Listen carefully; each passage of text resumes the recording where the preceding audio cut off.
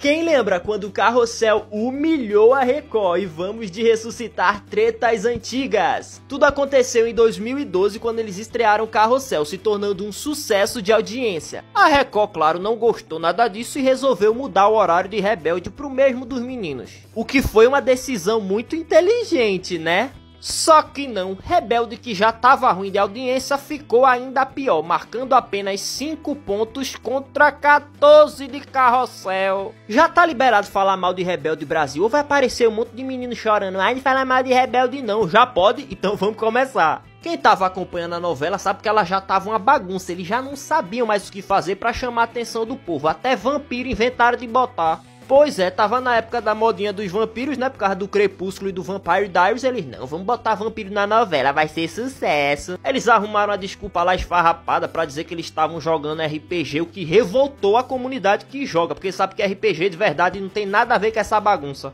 Calma que o pior ainda está por vir. Se Carrossel tá fazendo sucesso porque é uma novela com crianças, então quem que a gente vai colocar para levantar a audiência? Isso mesmo, crianças, a verdadeira prova do desespero. Tá uma bagunça mesmo, né? Vamos bagunçar mais. As crianças até que eram boas, colocaram Lateca na TV, o dublador do Gumball, a Mila do DPA, mas os personagens deles nada mais eram do que versões dos próprios personagens da novela. Fizeram lá uma mini Roberta, uma mini Alice, que era a versão lá da Mia. Mas ainda não era o suficiente, a gente precisa de uma dupla de peso, a gente precisa do nosso próprio Mário Joaquim e Cirila, é... Claro que os nomes deles não eram esses, mas o povo da internet não perdoa não, que fizeram Mário Joaquim destrata Cirila, Milena defende Serginho dos amigos e ele chama de pobre.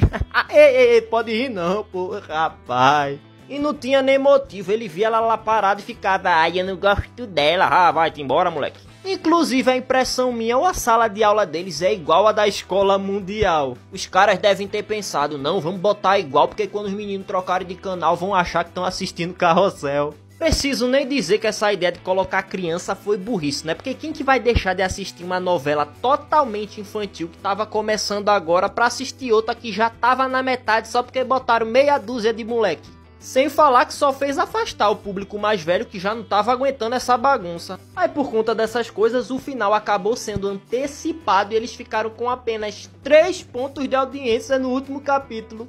Não tô entendendo, ô fãs de Rebelde Brasil, vocês não disseram que a novela era um sucesso, inclusive até melhor que o Rebelde Way e a versão mexicana?